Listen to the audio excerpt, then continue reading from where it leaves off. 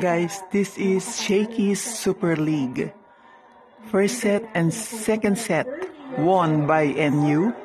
And now we're on the third set, of which NU is leading by three. The captain ball, Robles, is serving.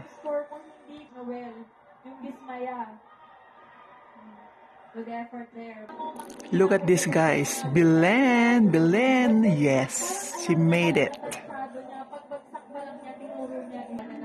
This is now the final game, the final between NU and DLSU.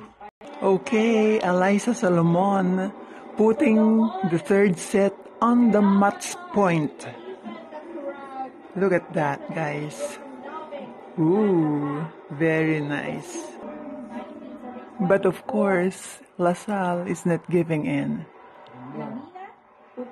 There you go, guys. Match point is straight three. First set, second set, third set. And you got it.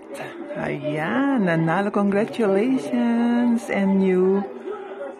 Ayan, repeat yan, guys. Repeat. Second cham- time champions. Second time champions. There you go. Wow, ang galing. Well deserved kasi nga 3-0. Ooh, congratulations NU National University.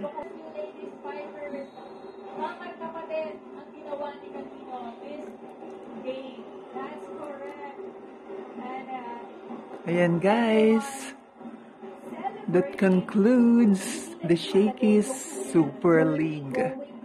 Ayan, congratulations again National University. Well deserved.